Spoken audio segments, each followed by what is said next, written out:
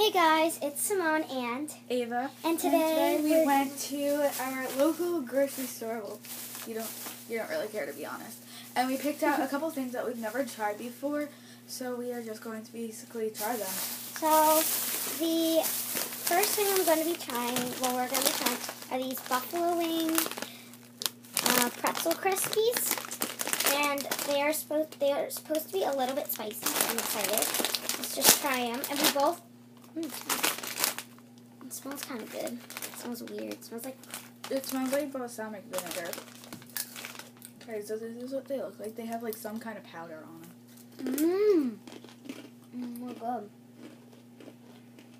Not my favorite, but they're definitely interesting. I think they're good. And these are by Pretzel Things. Or the snack pretzel factory. Snack Factory. So that's that. Mm, I will rate it a 5 out of 10.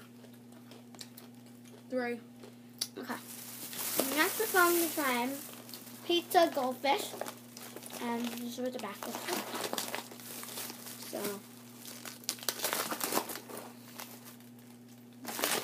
This is what they look like. They have like little like freckles almost. mmm. They're good. Mmm. Mmm. They're good. Okay. Mm-hmm. Five out of ten. Mm-hmm. Five Next. out of 10. Next, we are going to be trying the Chewy's peanut butter chocolate granola bar. I've never tried this, so I'm excited. Mm-hmm. So just crack it in half, I guess. A piece. Mmm. Tastes a lot like peanut butter. Mm-hmm. Oh, good. Mm. I would rate it seven out of ten. Mm-hmm. Next, we I use have, chocolate chip better. Mhm. Next, we have the Tootsie Roll lemon flavored fruit. I don't know if they're Candy lemon things? flavored, but they're It says lemon. Lemon fruit roll. No. Let me try one. Mm. Um, they are like a yellow and they're color. fruit chews from obviously from They don't really smell. some Tootsie. Mm. They're like And they're chewy candy. So- ready.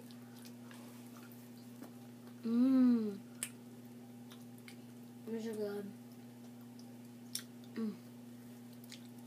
These are probably my favorite. Oh, these are good. Ten out of ten. 10 out of 10. These are what the middle looks like. So, I hope you guys enjoyed watching. And um, these products are amazing. And we love them.